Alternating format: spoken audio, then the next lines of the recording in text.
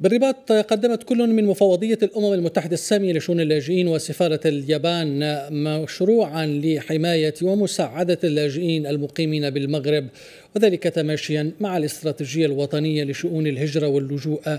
ويتعلق الأمر بمساعدات طبية وتداريب مهنية لفائدة هذه الفئة ذلك في الفترة من أبريل حتى شتنبر القادم. إنها المرة الأولى التي تدعم فيها اليابان المهاجرين في المغرب مباشرة. نحن سعداء بالعمل مع الجميع مع الحكومة المغربية ومفوضية الأمم المتحدة لشؤون اللاجئين وبعض الجمعيات في المغرب. هذا المشروع هو مبادرة من مفوضية الأمم المتحدة لشؤون اللاجئين.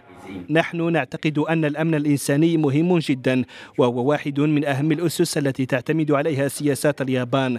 نحن نؤمن بأن هذا المشروع مهم لتحسين التعايش والتسامح في المغرب. هذا المشروع الممول من طرف الحكومة اليابانية بشراكة مع المفوضية السامية لشؤون اللاجئين بالمغرب. كيهم المساعدة ديال اللاجئين المقيمين بالمدن في المغرب. هذا المشروع اللي فيه جزئين واحد الجزء كيخص الصحة ديال اللاجئين وجزء كيخص الشغل ولوج الميدان الشغل وكذلك التربية وكذلك التكوين المهني.